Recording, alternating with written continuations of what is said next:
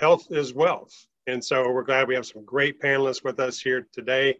And so just want to make sure we draw your attention to our uh, housekeeping rules for the day. Let me pull those up for you. Sorry, just a second here.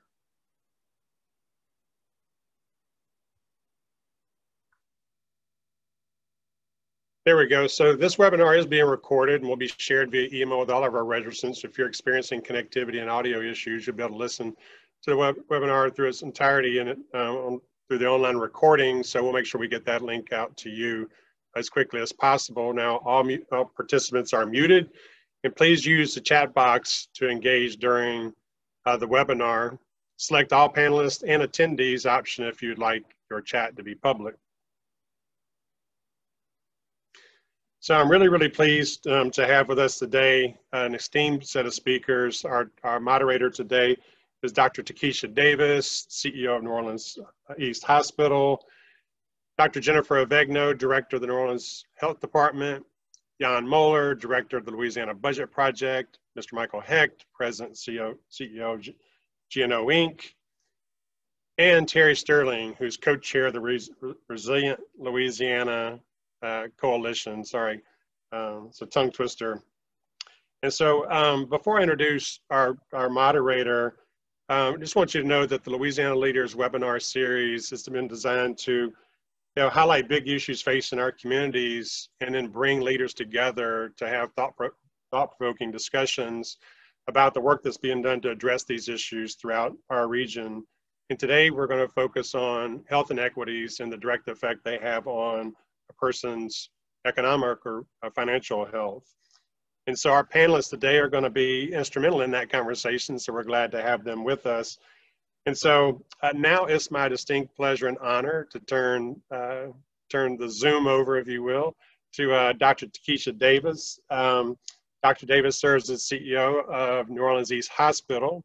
And in her spare time, she's uh, uh, on the board at United Way of Southeast Louisiana, and she serves as the secretary of our executive committee. So she's an officer of the United Way um, Corporation. So um, just a little bit about her. Um, she spent the last 10 years prior to coming to New Orleans East Hospital at the Louisiana Department of Health and Hospitals.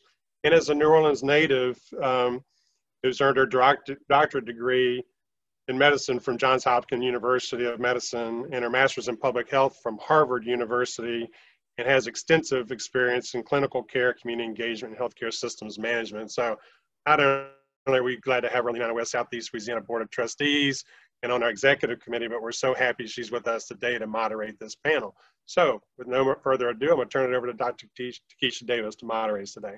Thanks, Doctor. Thank you, Michael, uh, and thank you to the United Way uh, of Southeast Louisiana for really hosting uh, an important conversation during this time. Uh, and welcome to all of our esteemed panelists. I'm really excited uh, to hear from you on this topic. Uh, as we all have continued to live through uh, an unprecedented pandemic. We've seen vividly the impact of disparities in health play out um, through COVID 19 and how that impacts on our most vulnerable members of our community, uh, our essential workers, uh, those who have underlying health conditions, uh, have also been disproportionately impacted um, negatively uh, by this pandemic uh, economically. And so to talk about your health as wealth today is timely. Uh, and so we'll jump right in and want to make sure as we start with our questions that for all of you who are participating with us today, that we want to hear from you as well and that you put your questions into the chat so that we can also um, have our panelists to answer them. but let's start um, with you, Dr. Avegno. Uh, as the City of New Orleans Health Director, uh, we've seen you leading us uh, through this pandemic with our public health guidelines. Uh, and this has not been the start of this journey for you in focusing on health disparities. Uh, tell us what your health is wealth means to you. Well, thanks, Dr. Davis, and I'm really excited to be here with you and with our other partners. Um, you know, and, and certainly, you know, as as well as everyone on this um, panel, this is a, a team effort. Currently, what we're facing now with COVID, but really the work that we've begun before this. And you know, I'm excited to talk about this today uh, because this is a continuation of something that the health department started uh, pre COVID with our community health assessment. So every five years or so, it's the charge of the local health department to do a comprehensive analysis of the state of health in our community.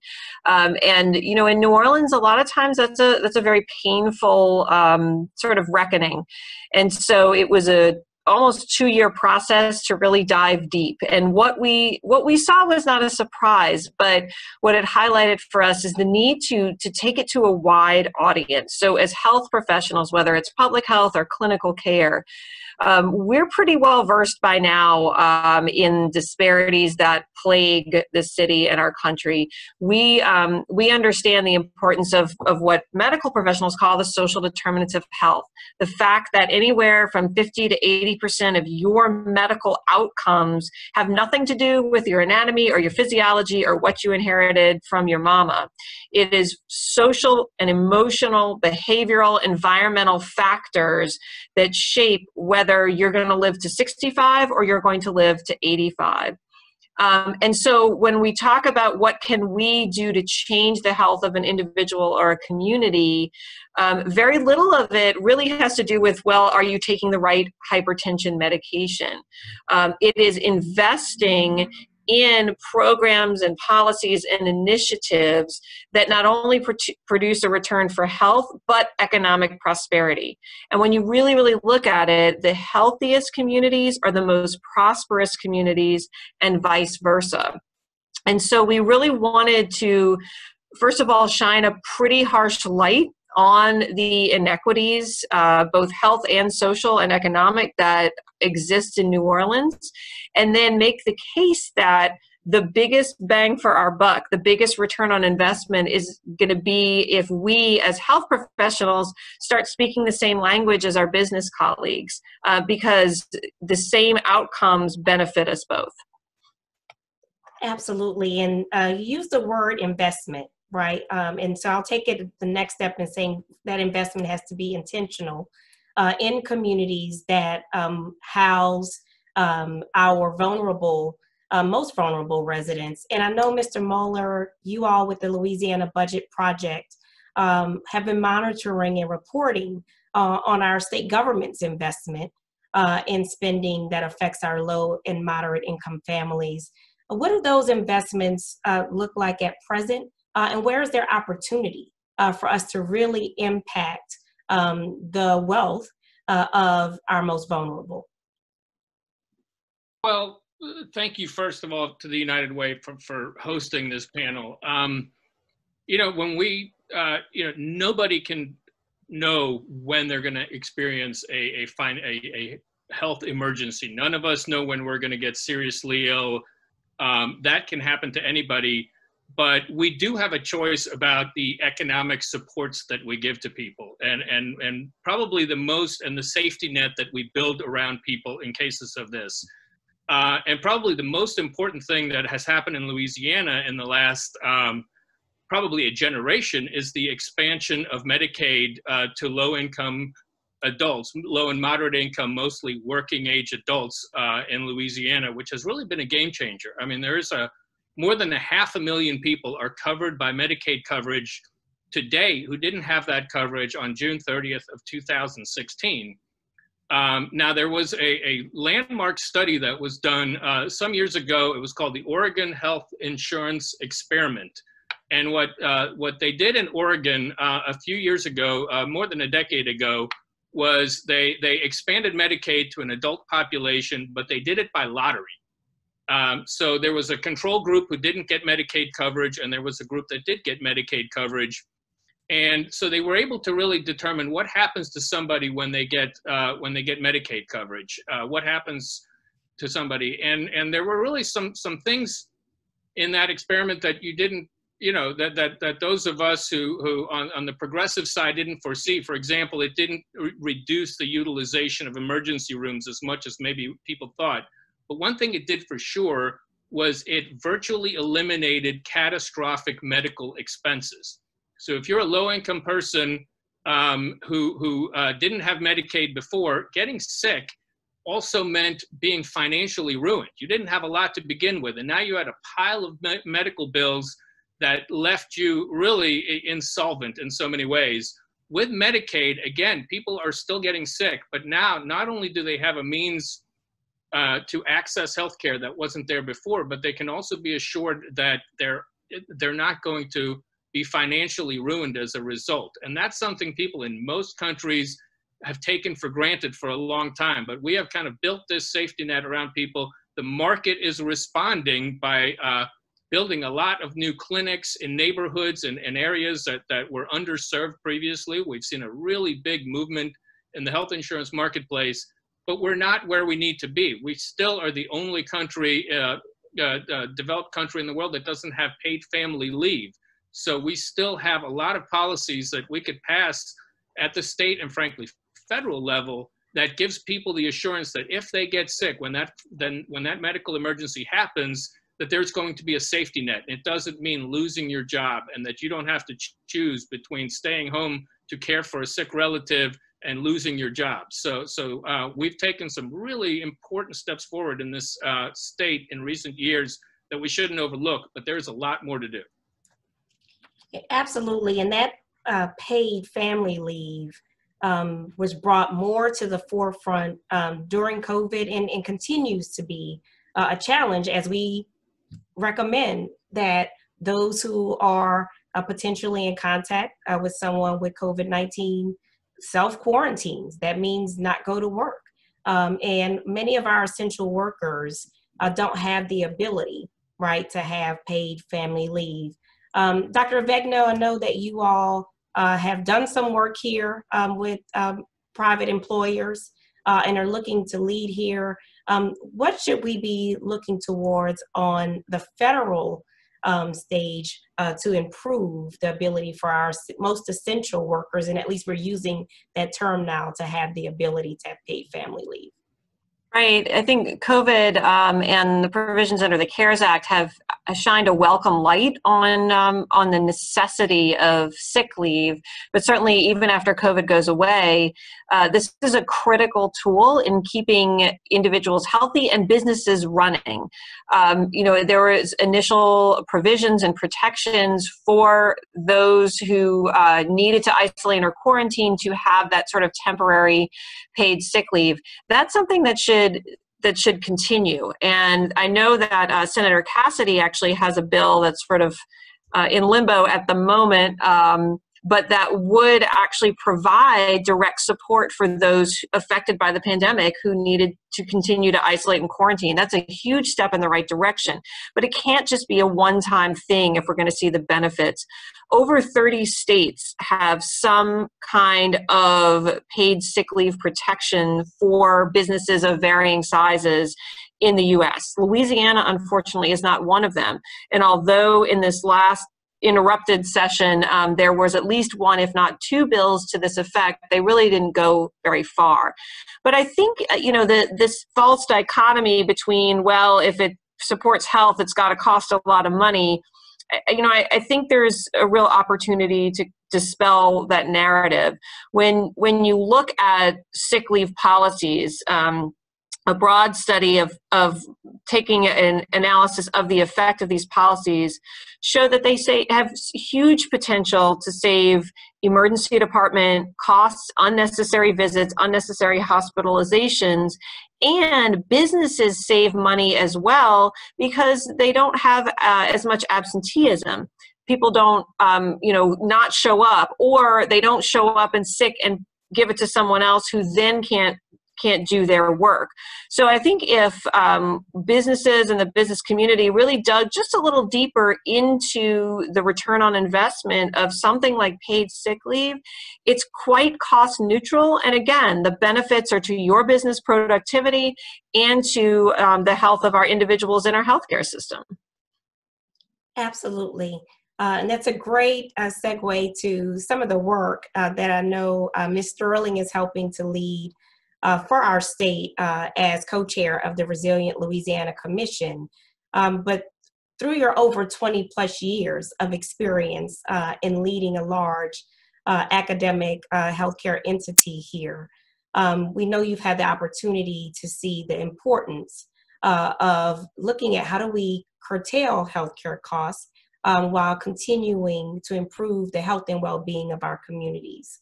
Um, how are you and the Louisiana Resilient Louisiana Commission looking at ways uh, for our, our, economic and business sector to partner with health uh, as uh, we start uh, to reopen uh, and reimagine the way to provide um, more healthy opportunities to our community members?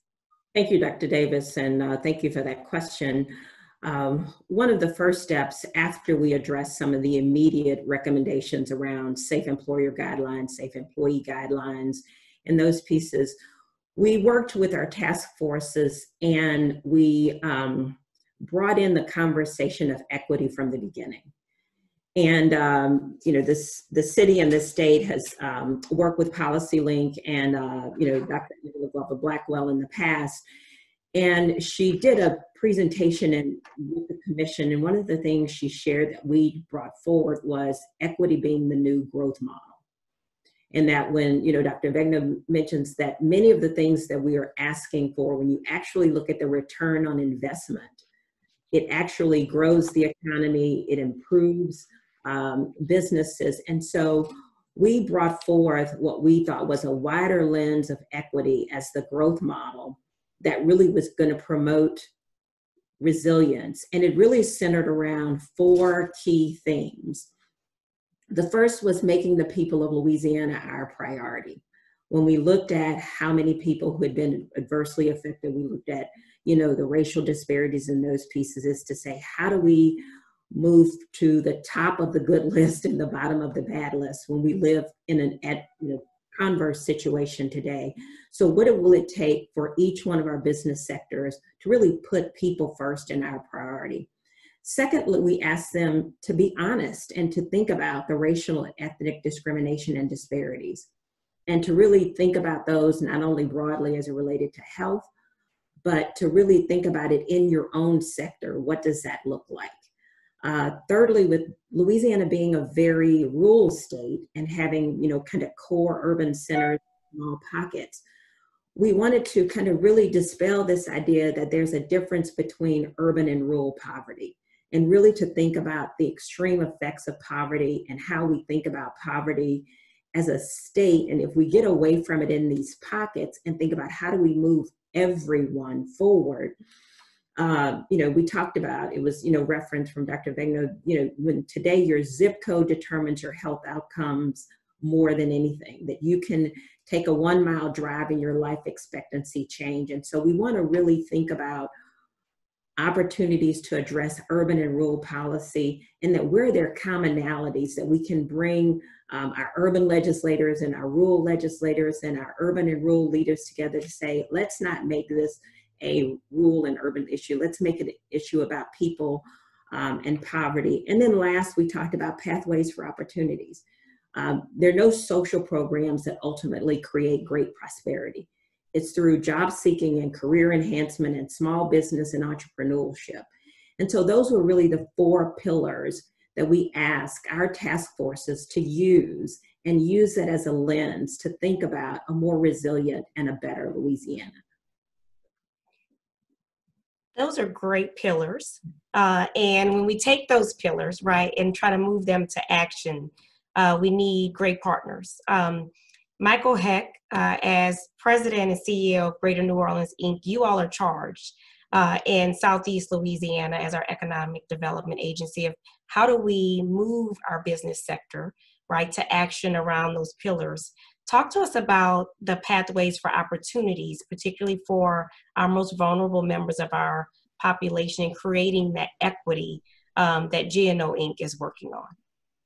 Great. Uh, thank you, Dr. Davis. And I think this probably goes back to how we modified our mission statement now about a year and a half ago to make it to create a thriving economy and an excellent quality of life for everyone.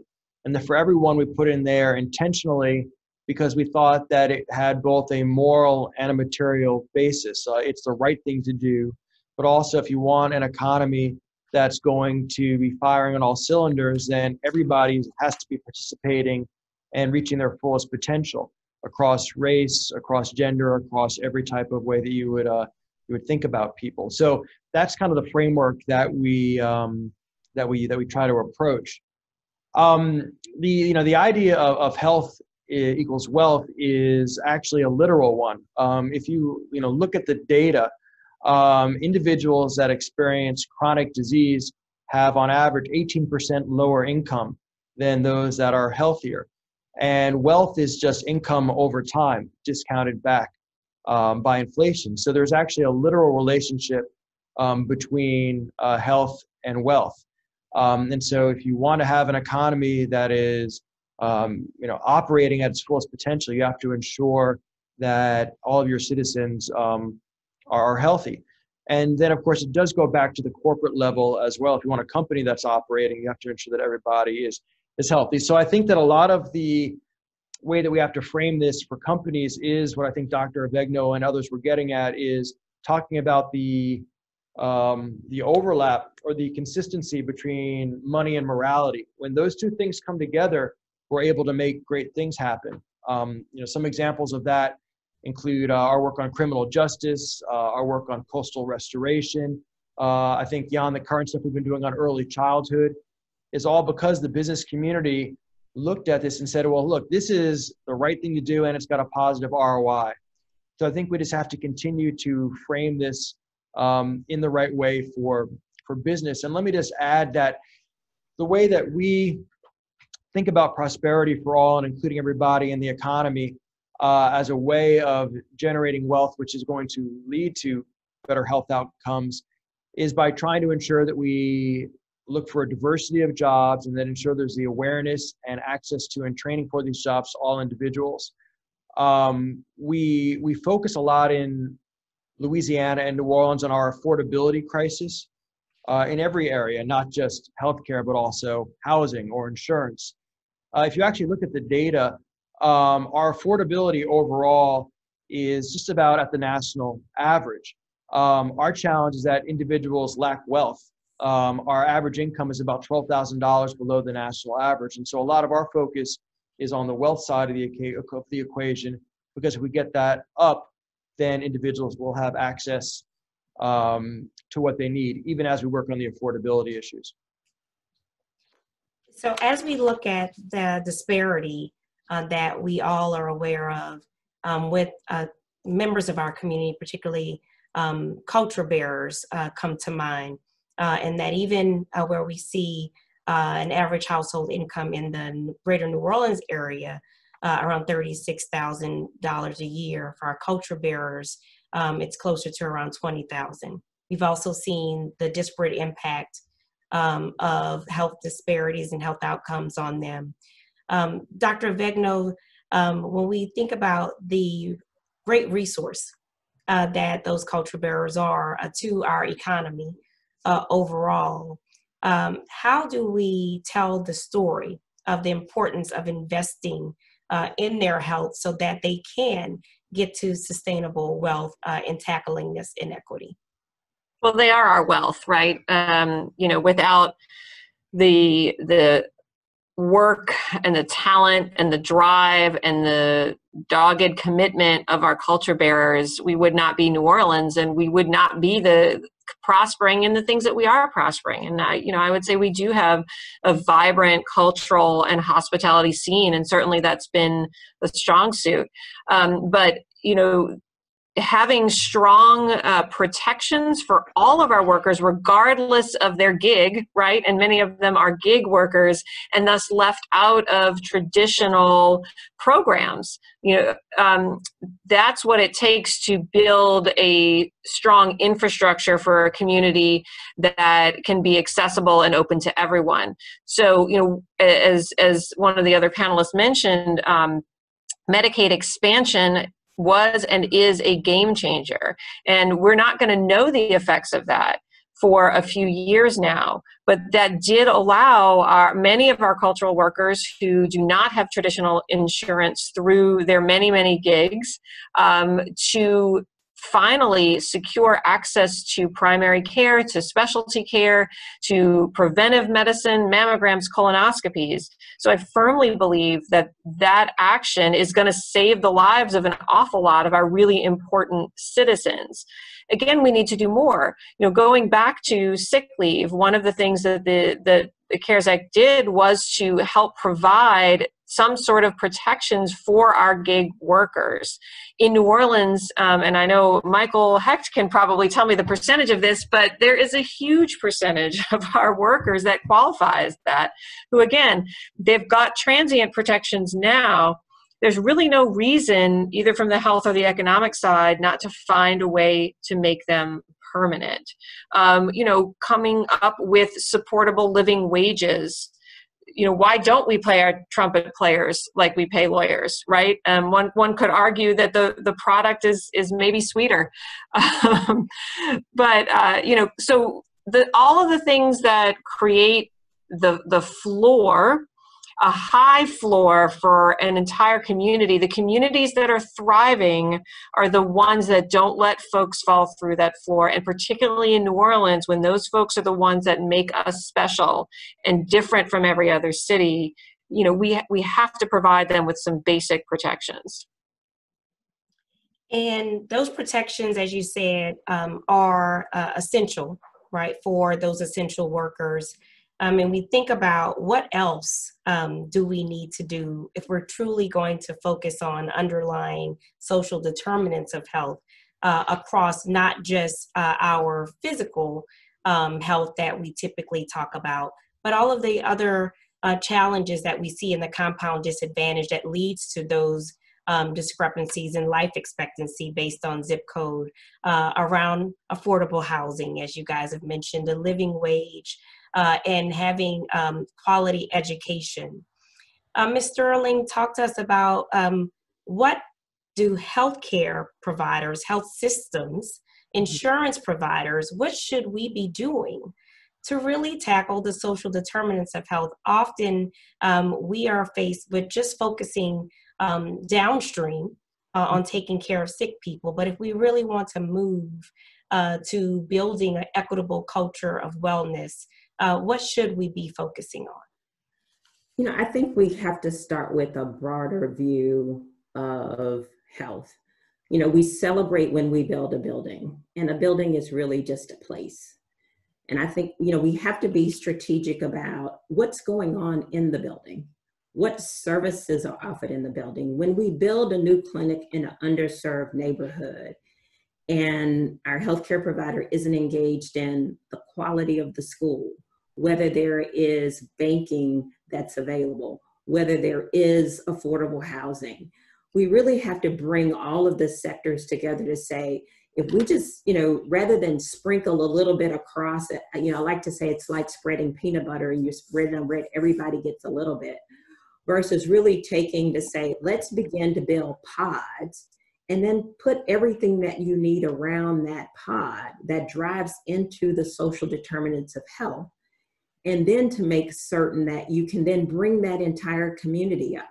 You know one of the things when we talked about banking and you know louisiana and new orleans you know i had not seen the red line map of new orleans from historical banking discrimination until um, the federal reserve brought it to one of our meetings.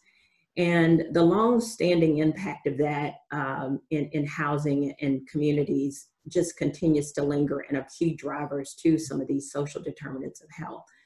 And so it's not until we really take that entire approach to say, how do we go into an area?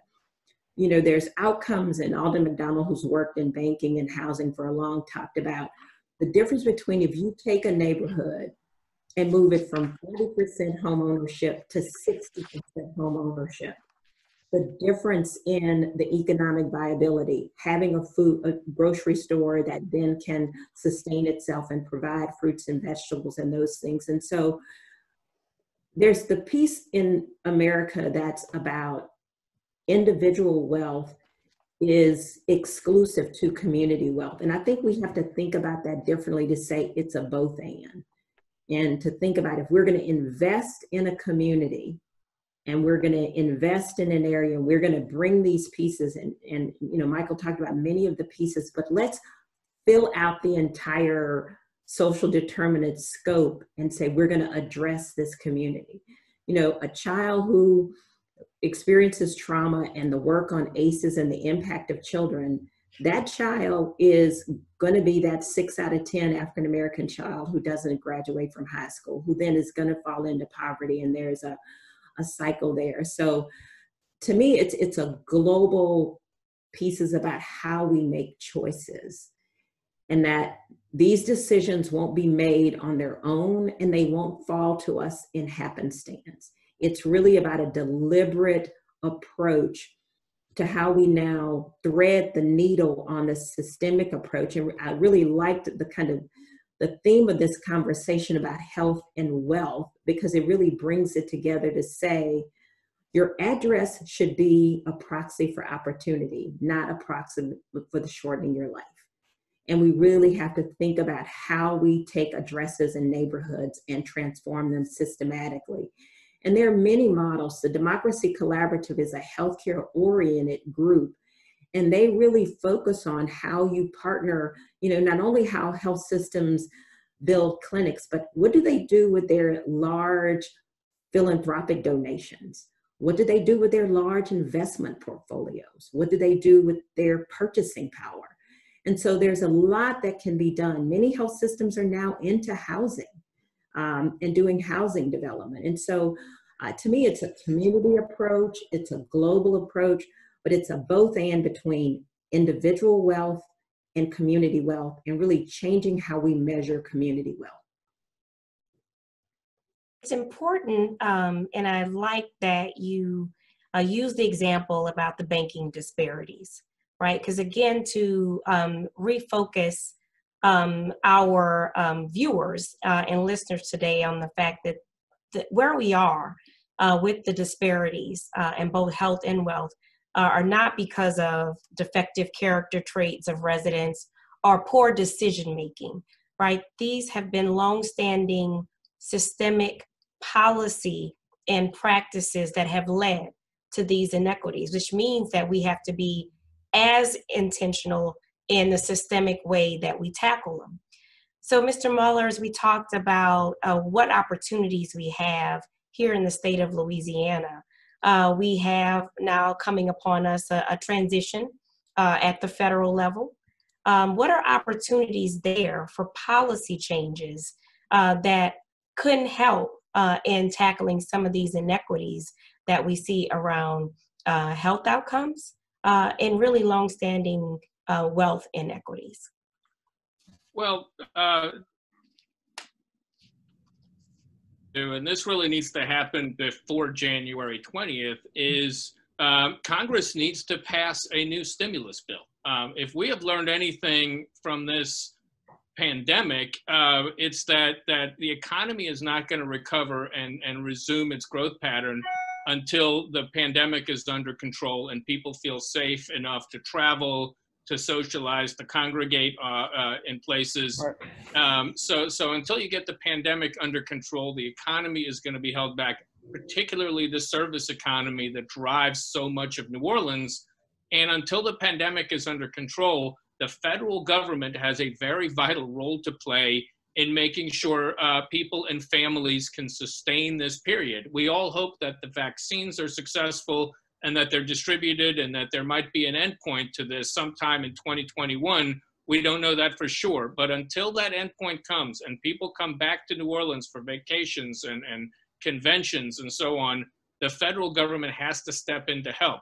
The hope was that they were going to do this back in July and early August when all of most of the CARES Act stimulus uh, started to expire. But Congress, of course, deadlocked. Um, Congress is still deadlocked. Um, every day there's, you know, five more stories about what's going on. So uh, hopefully they'll do it during this lame duck period. If not, it needs to be the absolute first thing on President Biden's plate is to pass a comprehensive stimulus package that keeps families whole and gets them some economic relief until the end of the pandemic. It shouldn't be an arbitrary date in the future. It should be the federal government is going to provide a safety net, whether that's direct checks to families or, or expansions of, of existing tra- tax credit. I would prefer that it's targeted to families that need it the most mm-hmm. so that it's not necessarily sending my family uh, $1,200 when both my wife and I are employed and we are able to, to make it through this, but to target it to, to the workers who really need it, uh, and particularly the gig workers in New Orleans. So I think that is the main thing. Um, the other thing, uh, you know, and I, am not saying this to be political, but there were threats to the Affordable Care Act, and there are still threats because the Supreme Court heard a, an argument on, on a, a, a challenge to that law. And so hopefully, I think uh, if, if, the Supreme Court rules, as I think many people expect, then we know that the Affordable Care Act is safe, that Medicaid expansion will be preserved, and then uh, Congress can get about um, you know the business of trying to build on the Affordable Care Act, build on the successes we've had in in making uh, coverage available to more people. The fact is, Medicaid expansion has been a game changer for people who make less than 138% of the federal poverty line. But there are a lot of people who are just above that line who are still struggling to get by, who are buying insurance through the exchanges. That can be very difficult. It can be very expensive it's not a perfect system and, and a lot of people who aren't who don't consider themselves middle class and certainly aren't wealthy still have an enormous amount of, of problems affording basic health care in this country and that's a problem that congress needs to work on uh, not only does america have a health system that, that leaves you know tens of millions of our fellow citizens uncovered without any kind of safety net but it's also the most expensive healthcare system anywhere in the world. We spend more uh, money as a percentage, as a share of our economy than anybody else in the world by far. So there needs to be a, a conversation about how do you expand coverage, but also how do you get the cost under control so that healthcare doesn't swallow up all of government, which it will do if it goes unchecked. So, so uh, I think both conversations are very important. I hope that once we get the stimulus uh, deal taken care of, that that's a conversation that can happen uh, over the next four years. That's yes, all. That, that's I think you're good. well, well, Michael, as we uh, think about, you know, healthcare can be bankrupting, right, to uh, someone who has an unexpected uh, health challenge, um, but providing health coverage um, and um, covering essential workers and employees is a, a real challenge uh, for a lot of our businesses as well. Uh, as we think about uh, our um, reimagining uh, as we reopen uh, post COVID and the challenges that our business sector has faced, what are some of the, the things that you all are doing to help them to do that in an equitable way and hopefully lead to investment and reinvestment and more of our communities that need their help? Yeah, so I think the, I mean the, a few points here. The first is that there is a, a moral and practical question about whether businesses are the best place and the right place to provide healthcare coverage. Um, so my wife is is Danish, and so I've spent a lot of time in Denmark and studied it and concluded that there's very little you can compare between the two places. It's a country of five million people with seven last names, kind of like Louisiana, um, except totally different. Um, but what's interesting is that so Denmark always wins the award for the happiest country on earth, right? But if you spent a lot of time in Denmark, like I have, it's actually not a particularly like crazy happy place. It's actually very Lutheran, right? what it is, in fact, is not the happiest place on earth, but it's the least miserable place on earth.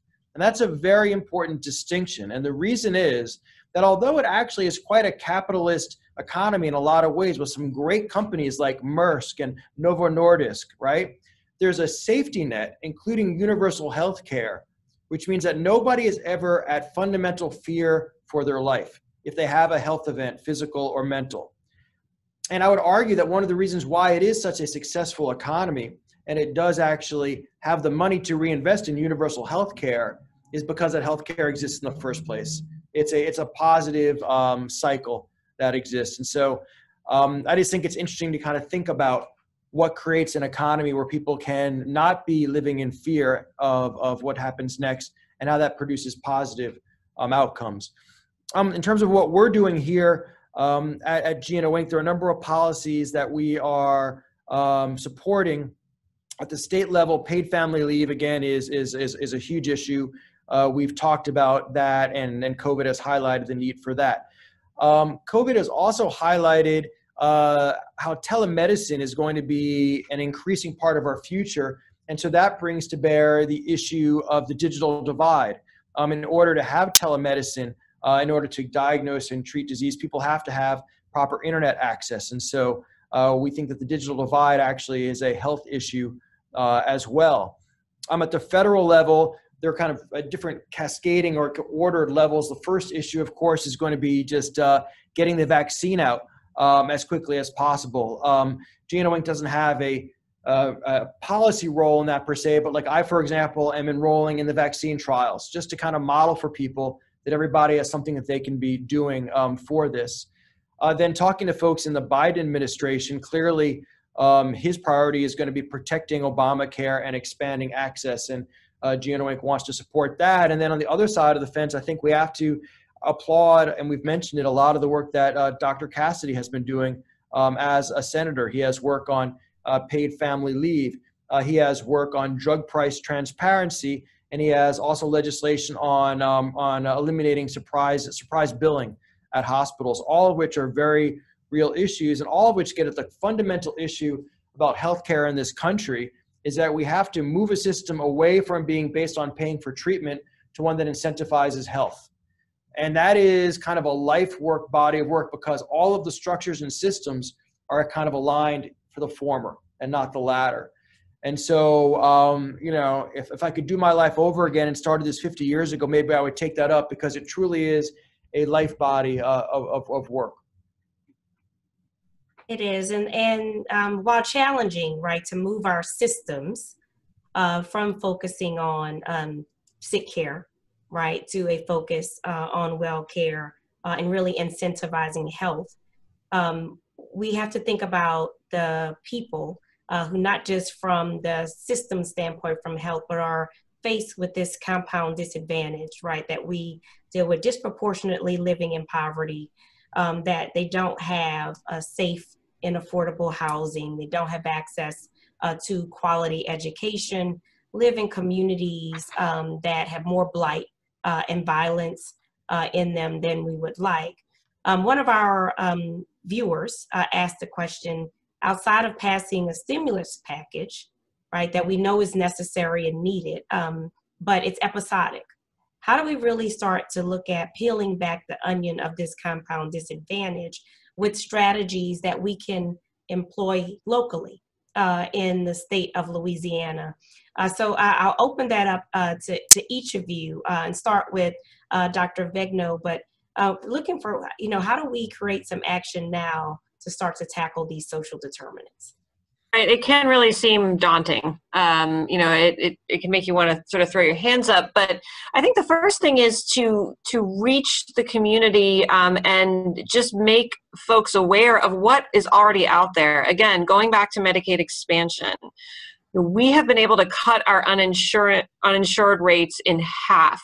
But there are still folks that i as an emergency physician who works part-time in the er it astounds me how many folks don't know that they can have access to Medicaid and what that means. And that means they can get a colonoscopy and a mammogram and a primary care doctor and start to talk about prevention, right? It's not all of the preventative things. I can't fix their streets.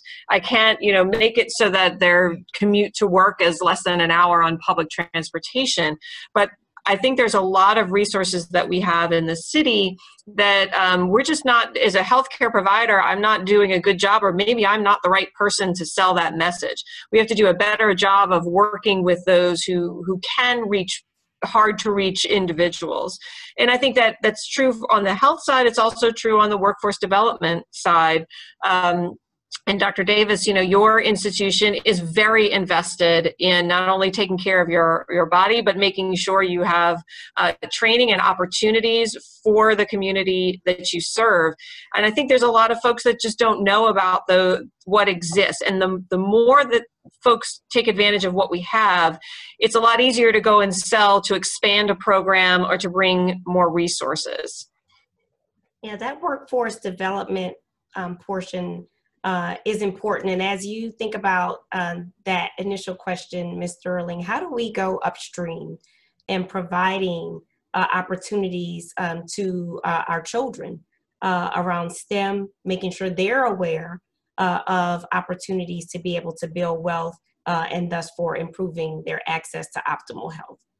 Um, you know, Michael Hecht made reference to it, and it was the one topic that, regardless, when we put the Resilient Louisiana Commission, the digital divide is a game changer, and it it's banking, it's education, it's really you know healthcare and those pieces, and you know we talk about beyond the stimulus package, what needs to happen at the national level. We really need national digital standards. You know, when we have connected with other states who've had commissions that, that, you know impacted their resilience and their return from covid the digital divide was on everyone's list. But what we don't need are 50 sets of digital standards that then you don't if you have a healthcare platform here it doesn't work there. If you have an education platform here it doesn't work there. And so really a focus on digital standards digital divide going the final mile when we talk about getting to rural versus urban we've got to get you know that is a huge rural issue in louisiana. And so i think that the digital divide as it relates to educating our children um, is important. The other piece though i think is for our children and for everyone when we talk about a sick care system and transitioning to a well care system we have to stop reimbursing based on sick care. Right. When we have many of these little small demonstration projects where a tenth or 1% or 2% of a hospital's reimbursement with one of the big payers um, gets put at risk, that's not enough to change behavior. The other component is in both our health systems and our payers, who then represent, if we think about how much money the state is pushing now through the carriers through Medicaid, we don't have any transparency of outcomes. We don't get outcomes by gender, we don't get them by ethnicity, we don't get them by zip codes to be able to hold them accountable to say, we're giving you X number of millions of dollars of health for our kids and for our families. We want to understand are you moving the dot? And how do we put more money at risk that you actually we're going to pay you? there's no there's no other system that you get paid and produce outcomes the way that we produce the outcomes today in our healthcare system. And, you know, I understand, you know, that it, it, takes a lot to really change that. But I think we have to begin to look at the model differently. And that if we're going to go from sick care to well care, that we have to do it differently. And then lastly, to speak specifically more about our children, you know, I was, you know, fascinated by the fact that Mexico decided to put education on television during the pandemic. They got through all of these other barriers of how to educate children and just said they were going to program education. And I think it's about thinking about it differently. And I think when we think holistically again about, I'm not thinking about my segment or you know my particular child but i'm thinking about how do i make every child educated we all remember sesame street and schoolhouse rocks and how kids learn certain things but we didn't take that next step. And and i just think it's really changing how we think about educating our kids and educating them in a way that is transformative. And ultimately i believe that both the internet and other progressive mechanisms are going to help us really kind of turn healthcare and education on its ears because i think so much if we can get the digital divide addressed can be delivered into a home or into a school or into a setting that can transform the educational life of a child. Mm-hmm. How do we get those systems, right, to stop working in their silos? Um, you know, we all have spoken about the need, right, for uh, our educational system and our healthcare system, businesses, banking, uh, to to work together. Uh, are there ways, Mr. Moller, that um, we've seen uh, in other countries, uh, other parts uh, of the world, um, or ideas on how do we really start to break down those silos, um, not just around the digital divide, uh, but how we make decisions um, with a focus on wellness for our community? Um, well, you know, we started this conversation by talking about social determinants of health. Uh, Dr. Avegno did, and and and I think one of the biggest social determinants of health is is poverty, um, and and the poverty that you know whether you go by the official poverty rate of of about 18 percent, it's almost uh, uh, 50 percent when you look at the ALICE threshold. The United Way's ALICE report has been so important to the community conversation around poverty. Um, and it's important to remember that the poverty and inequity uh, that we see today in, in the country, and particularly in Louisiana, is a result of policy choices, um, deliberate policy choices made historically over time, going back long before any of us were here, and that there are policy choices we can make at the state and federal level to really help address that. Um, uh, to one of the things, and some, and these are known things that we can do. Uh, Louisiana is one of five states without a minimum wage law on its books. Um, we could raise the minimum wage and not just 850 an hour like the governor's proposing, but 12. You know, Florida just had a, a statewide referendum. Um, the same voters who, who uh, voted to, to put Trump back in office in Florida also voted to raise that state's minimum wage to $15 an hour by 2026.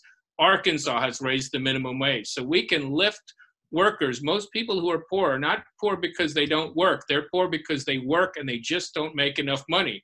We can also do things like like build a better safety net, like we started talking about, not just in healthcare, but through tax credits like the earned income tax credit. We can create a child tax credit. There are ways through the tax code to really lift up families um, we have a state government in Louisiana that is smaller than most. Most people don't realize that. People think of Baton Rouge as being this big, bloated state government. Um, the Legislative Fiscal Office recently looked at the size of state government compared to others. Ours is among the smallest.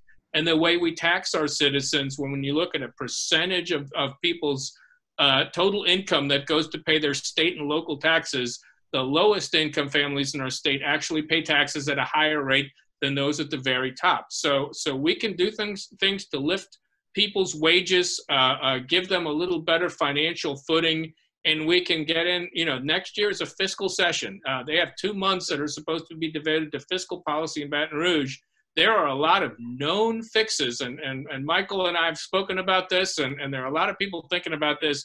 We know what to do to fix our tax code to make it uh, simpler and to make it a little fair and to make it more robust. And if we make those changes, maybe we can talk about giving teachers a raise. Maybe we can talk about investing in early childhood education so that every child, no matter where they're born, has the, the supports that they need. So by the time they start kindergarten, they have the same opportunity as children from wealthier zip codes at, at, at a successful life. So we can make some policy choices. There's not a, a, a single switch that you can flip to, to make everything better, or people would have flipped that switch a long time ago, but we can make policy choices today that will lead to a much better uh, economic future for way more people, including a lot of, of segments of our state that have been historically left behind. So there are things that we can do, is what I heard, uh, and things that that we can do now. Uh, one of our um, participants uh, asked the question, Michael, that you know our state government uh, does seem so divided. But based on your relationships and you all are sharing uh, some of the actions that can be taken now that we know um, have evidence uh, to be able to work to equitably improve um, the uh, income uh, of our most vulnerable residents uh, and ultimately lead to better health outcomes. How do we get our state government leaders, Michael, um, to hear this message uh, and start to move this needle in the right direction next session?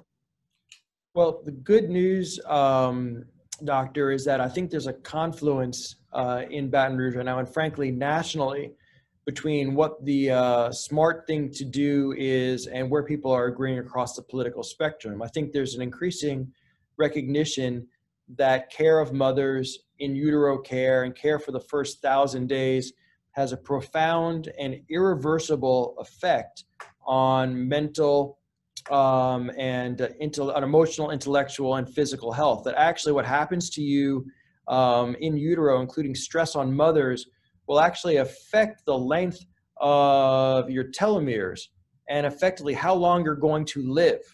And the science is now coming out to prove that irrefutably.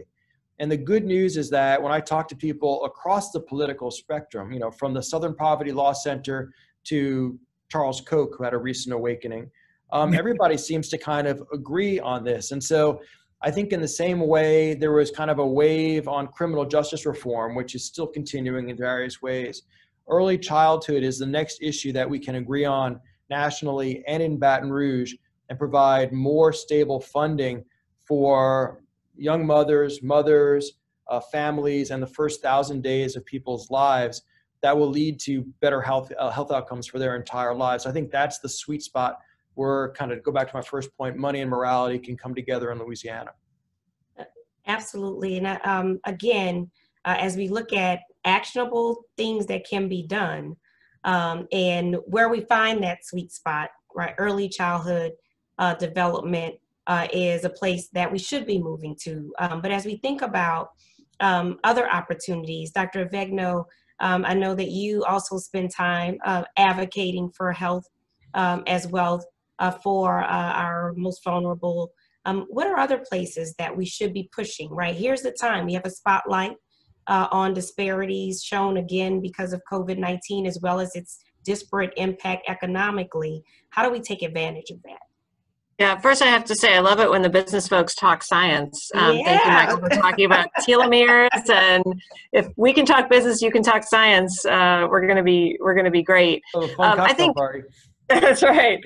Um, I think, you know, capitalizing on that and going back to something that um, Sterling said, we have to find the commonalities and they're there, they just don't often get broadcast. So when we talk about the urban rural divide, many of the challenges of rural places um, in terms of health and economics are the same in urban, particularly when we talk about broadband and the digital divide. So I think it, you know, getting our rural legislators to understand what our urban legislators might know for parts of their community that if we're all going to be successful, we need broadband. That's a way to bring folks together.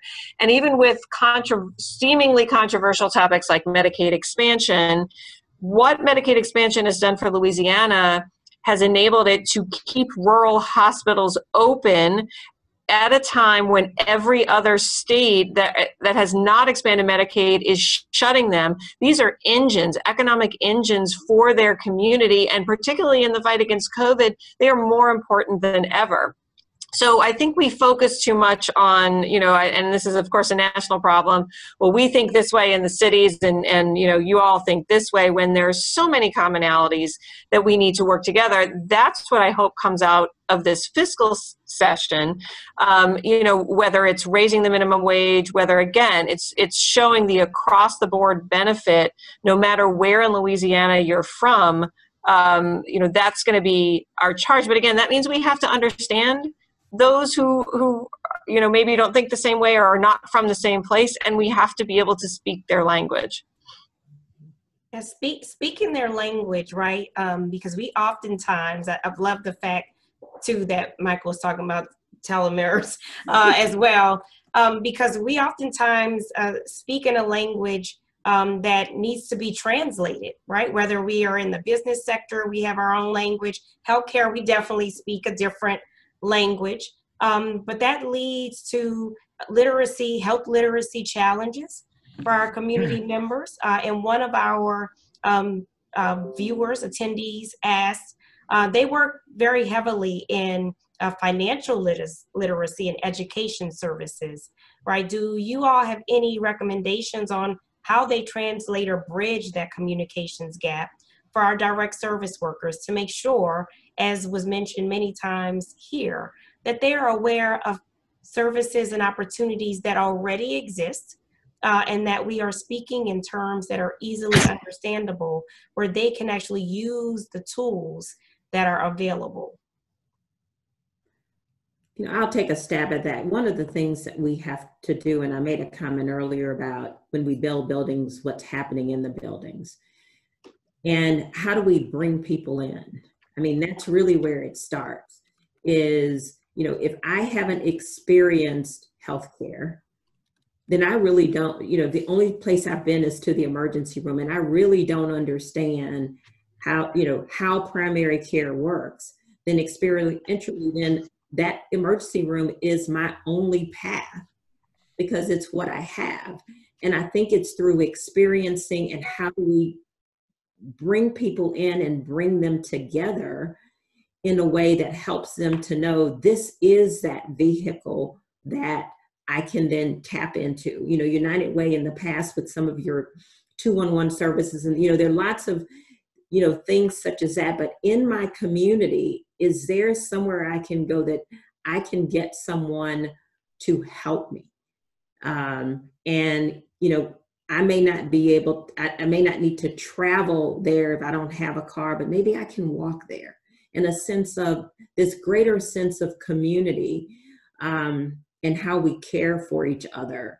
I think will break that divide. I mean, right, it just seems oftentimes that we're not even comfortable even having a conversation or asking for that help because we feel uncomfortable. And so I think it's, you know, one good side, I think, you know, there I call them COVID blessings. There have been things that have come out of COVID that would not have happened. And I think there is a theme for some people of this shared vulnerability that has happened because the social isolation, the fear, and some of those pieces, like many of us and probably all of us are comfortable as far as food and those pieces, but there is that other sense that is a common thread for all of us. And I think if we could create a more common sense and a common thread of humanity for all of us, that individuals can feel open to ask the question or to open a door and ask for help. Um, it really would transform, you know, our communities in just a sense of kindness and compassion.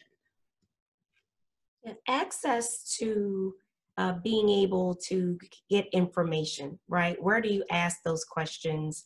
Uh, and you use uh, the emergency room as an example for healthcare uh, as really a, a, place of last resort uh, for many uh, for healthcare.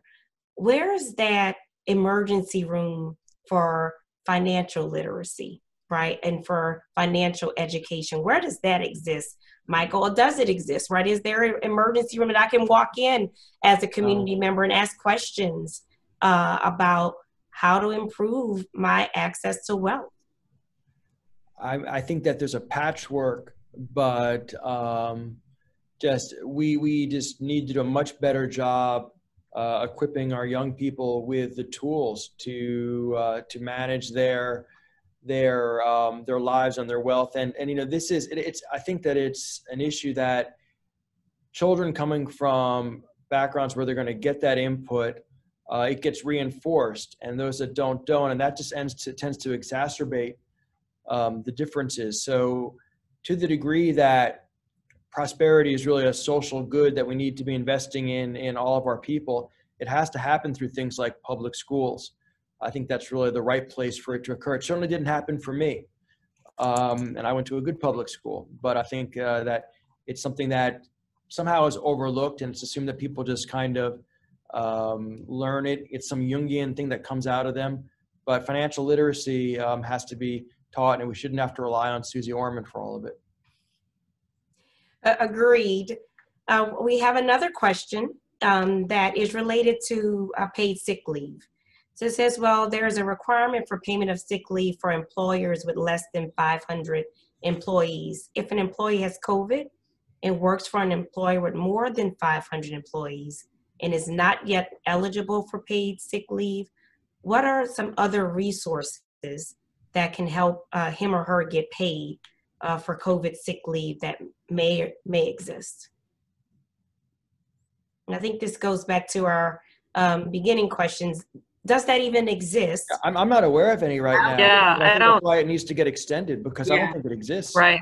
Unless Yeah. somebody else knows. I, if I'm if I'm remembering the bill that Senator Cassidy has, the the supports that he had in there, I don't think it was necessarily tied to your employer or employment status. So again, you know, as Michael said earlier, taking away your ability to access um, paid health benefits from your employment is is is critical, and making making the two not reliant on each other, uh, particularly with the nature of work and how Right. frequently people cycle in and out of jobs um, and the different types of jobs and the gig economy. That just doesn't, that might have made sense when everybody punched a clock at the same place for 40 years, but it really doesn't make sense in this economy. So that's either got to be a federal response, either federal healthcare that's available to all, or sort of again that federal safety net for, for you know extraordinary service like this. Um, you know, there's there are service there's programs that can help you if you are out with COVID and you need food delivered to your house, but it doesn't take away the fact that you're going to be missing two weeks or more of work. Mhm, mhm. I mean, So it's how- just just one one random point, but it's just Mhm. there's so many of our workforce policies are are antiquated. My my favorite example, which is not, but it just shows you, is there. do you know where the retirement age of 65 came from? This is for true.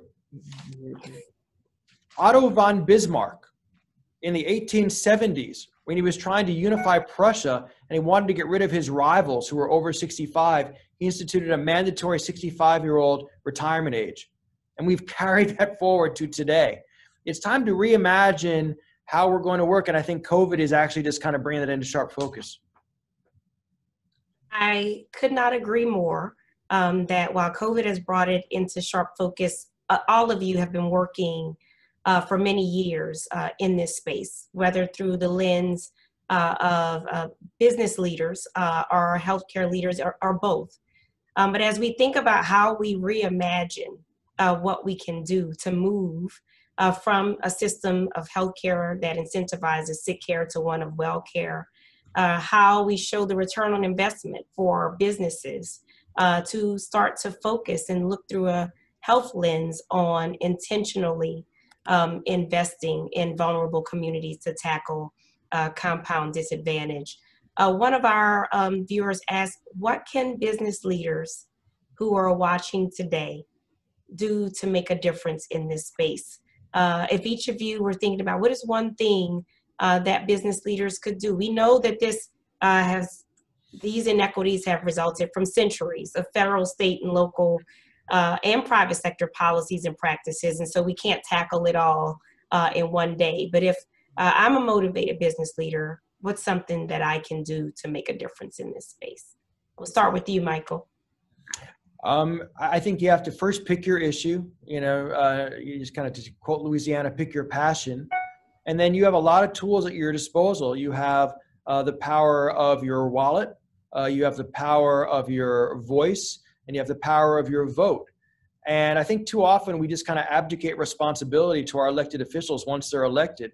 The reality is that they still will be very responsive, but you've got to organize and, and activate and use the leverage of messaging and money.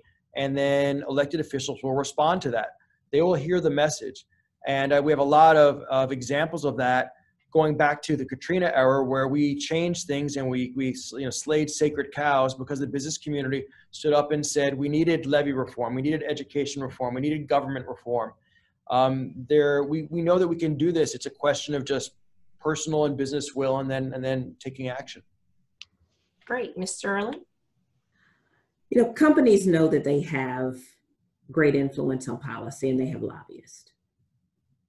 At the end of the day, to Michael, they have to decide what they care about. Mhm. Either I care about paying a living wage or I don't. Either I care about family medical leave or I don't. Um, and I think it's the same thing I'll say to the, the participants who are with us. It's not only our business leaders. Get behind, get passionate about an issue. You know, we're going to release the Resilient Louisiana Commission report in the upcoming days.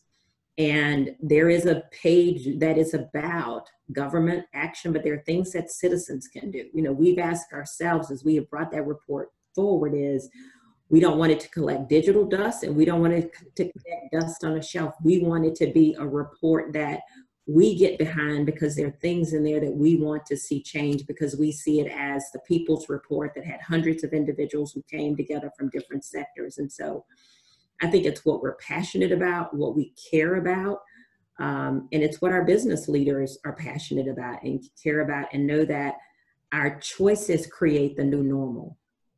If Louisiana is the same a decade from now, it will be because we chose that, not because it happened. Yeah, intentionality. Dr. Avegno? Yeah, I, I I agree with the what are our priorities, um, and I think that you know for business leaders, for all of us who who lead organizations, we have to start with ourselves and look deliberately at what what kind of structure am I um, engaging in? What am I promoting? Uh, what does that mean for my my employees?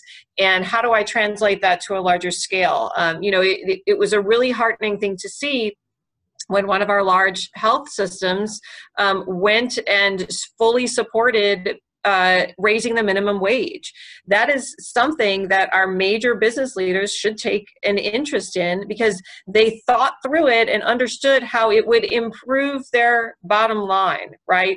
You can do things from your heart or you can do things from your head. And a lot of times you get the same results. So, regardless of your motivation, it is having the true civic backbone to get up and do it. And I would wholeheartedly agree with Ms. Sterling that we've got to decide what's most important to us. It, as much as culture is important to the city and, and will always be a critical part, do we care about parties or do we care about people? Um, and we need to encourage our civic leaders to make that choice publicly and then uh, and then act on it. Mr. Moller, what can our business leaders do to make a difference in this space? Uh, well, you know, I'm I'm not a business leader. I'm in the nonprofit sector, but I, I think a lot of it comes back to what's your vision for economic growth. I mean, for for 40 plus years, there's been a, a, a, one side saying that that what's good for business is for government to get as far out of the way as possible to not regulate anything, to cut taxes on the wealthy, and everything's gonna, you know, the businesses will grow and trickle down uh, the benefits to, to the masses. Uh, there's another vision of economic growth that says if you make the right uh, investments in people, in communities, in, in safe communities, uh, in equitable communities, in education, in training, um, and you have a fair and predictable tax system that, that supports that, then you can not only create a strong economy, but you create an economy that works for more people and not just a few people at the top. One of the things about Louisiana that makes us unique, unfortunately, is we are not only one of the poorest states in the country, we also have uh, the fourth highest rate of income inequality anywhere in the country. So, so I think there is a real case to be made, and I would love for the business community to pick this up to say that look, if you know nobody loves paying taxes, but if we can fix these, these basic fundamental things with our tax structure and make the right investments, then we really can create a stronger economy. Uh, this is not an, uh, uh, an issue that should only belong to the right and that should uh, and that can't involve government. Government government can and should play an active, constructive role in creating a more fair and equitable, you know, creating the rules of the road and making the investments that allow everybody to thrive and that allow, everybody the opportunity to reach their highest potential, uh, no matter where they're from, no matter the color of their skin or how successful their parents were. And, and we haven't reached that ideal. We're far from reaching that, but I think we certainly can. And, and, and that requires buy-in from business because if it's just, you know, a, a small band of progressive nonprofits up at the legislature making this case, we're never going to win. Um, I mean, I've been around the legislature for almost 20 years now, and, and business drives that political process in a way the nonprofit sector does not. And, and so uh, we need business at the table. We need businesses, uh, people who, who kind of take this view of the world to not be afraid to speak up and, and to, to let their voices be, become clear and powerful in this debate, because that's what legislators are ultimately going to listen to. Well, this has been um, very, very informative Um, you all, uh, as leaders across our state uh, in both the business, nonprofit, and healthcare sector, uh, have shared with us uh, from your perspective um, things that we can do to move um, our state uh, to focusing more on equity uh, and health for all. and that is a daunting task. Um, but we have the opportunity, as you've shared with us, to make some changes now that start to reimagine, re envision uh, how the state of Louisiana can move from being uh, at uh, the bottom of every good list uh, and the top of every bad one with respect to health uh, and income equality. As you think about uh, our upcoming um, opportunities, our last question to you um, today is what makes you hopeful for the future uh, that we can start to bridge this divide uh, of health as wealth? Uh, and um, we'll get started uh, with you, Dr. Avegno. Well, I'm always an optimist um, because I truly do believe, uh, particularly in this community, that compassion will all, and and rationality and reason will win out, um, despite sometimes being wrong. But I, I'm always hopeful. Again i what i see now is a little bit of what we saw pre-katrina and it's a real converging of our community to fight a common enemy um, and to be successful. I know that's going to be our challenge at the health department for the next year or so is how can we work with everyone possible in the city of New Orleans and the region to get a vaccine so that we will be the first city fully open for business and business in a new and different way what coalitions can be we build what partnerships can we strengthen that, that are not going to end that we really can't blow this opportunity to take those and say well we if we can do this um, then we can certainly do maternal child health. We can certainly do chronic disease prevention. We can certainly do intimate partner partner violence, and uh, you know structural racism as a form of health disparity. Um, so I'm I'm hopeful that our really hard work in the trenches now will lead to some you know more shared communal awakenings and decision makings uh, as we get past our current crisis. Thank you. Uh, Ms. Sterling. Um, one of my mentors shared, you know, the quote that I live by, you know, never doubt that a small group of thoughtful, committed citizens can't change the world because it's the only thing that's, that ever has. That's a quote from Margaret. And I just believe that, you know, you can get exhausted and tired and those things, but you have to believe that through, you know, your commitment and your passion, um, that you can make a difference. And, um, you know, we all, you know, I've lived by that from my, my peer and, you know, you get up every day and try to advance the ball, um, you know, just a little bit to say, have I, you know, made a difference? So I think it's just um, creating a sense of hope and optimism in yourself and creating a hope and optimism that you believe that ultimately um, the arc of justice, it bends slowly, but it bends, you know, in the right direction.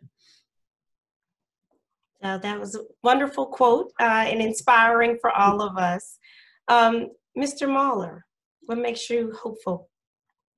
You know, um, I, young people make me hopeful, and I think the um, as tumultuous as a year as this has been, um, I, I think the the public reckoning that we are having about and the, the national conversation that is happening around racial equity um, that you know george floyd was was a, a, spark but that fire had been smoldering for for a long time. And i think it woke a lot of people up to to realities that, that people have been living, uh, uh, people uh, in, in, this country for, for generations. And, and, and so I think it, it hopefully is, is shaking a lot, some people out of their complacency around issues of, of race and structural racism and institutional racism. And, and even though these are difficult conversations um, and sometimes ugly conversations and, and they're leading, but, but I think ultimately uh, that arc of, of uh, the moral universe is slowly bending towards justice. So, so I take uh, inspiration away from from the protest and the activism that I've seen this year, and and I hope that um, the election isn't the end of that, but but really the you know that it's going to continue into 2021, and the people who were very fired up during this political season will continue to be fired up um, as as the administrations change, because nothing is going to change. Um, you know, at the national or state level, unless people stay involved and realize that that democracy is is a full time participation sport, not something you do every four years. Uh, and if if that happens, then then I think uh, very good things are possible. Thank you. Uh, and Michael, will let you have the last word. Well, that was all very eloquently said by everybody, and I agree. I think that 2020 is going to end up being homeopathic for this country. Um, I think it's going to be the the the the, the bit of poison that builds up our our, our collective uh, political and emotional intellectual antibodies and makes us stronger. I'm inspired by the massive turnout at the election. I'm inspired by generational involvement, and we know empirically that this community comes back from hardship by honoring those who suffered by building something better is what we did after Katrina, and you look at the advancements we made in education and in the and in the coast and um, in levee protection and so many other areas. And I think that we're going to do that and more right now. And you know, um, Terrie, you talk about the arc of history bending. The less elegant way that I think about it is the cha-cha of progress. It's two steps forward, one step back, but then it's two steps forward. And uh, and and with a little shake of the hips, you get there. And you know, Lord knows we can dance. That's a wonderful way to think about it. Uh, absolutely. And we thank uh, each of you today. We know that your time is very valuable uh, for sharing uh, these insights with us uh, and giving us a little bit of hope um, that we can tackle this, uh, although a challenge. Some of the themes that I heard and I will take with me um, is number one, we need to decide what we care about, right? Do we care about our pockets or do we care about people? Do we care about partying or do we care about people? Uh, and once we decide that collectively it is that we care about people, um, we can galvanize in a way um, that will move us to action, much like we saw uh, after Hurricane Katrina, and find those commonalities uh, where we have a common language on moving uh, our communities to one uh, that incentivizes wellness. Uh, and so uh, I really thank you all for joining us today. I will leave you with a quote from Martin Luther King Jr., who um, I, I quote often that says, Change does not roll on the wheels of inevitability, but comes through continuous intentional struggle. And I think that's where we are, and that we need to intentionally decide uh, to get in this fight uh, to promote wealth across all sectors, uh, and that it won't come easy, we know that the problems we are saddled with now uh, have uh, been in place for centuries, um, but that as we start to take those steps forward, uh, we will see that inevitable change and move to wellness. Uh, so, thank you all so much. Uh, for participating in our Louisiana Leaders webinar today. Uh, and we invite all of you who are with us today to join us on December 8th for our next Louisiana Leaders webinar, uh, which is Philanthropy is Good for Business. Uh, please visit the website that you see on the screen uh, to register, uh, and we will look forward to these continuing conversations and moving us to action. Thank you all. Thank you, Dr. Thank Davis. You. Thank everybody. Thank, Thank you. you.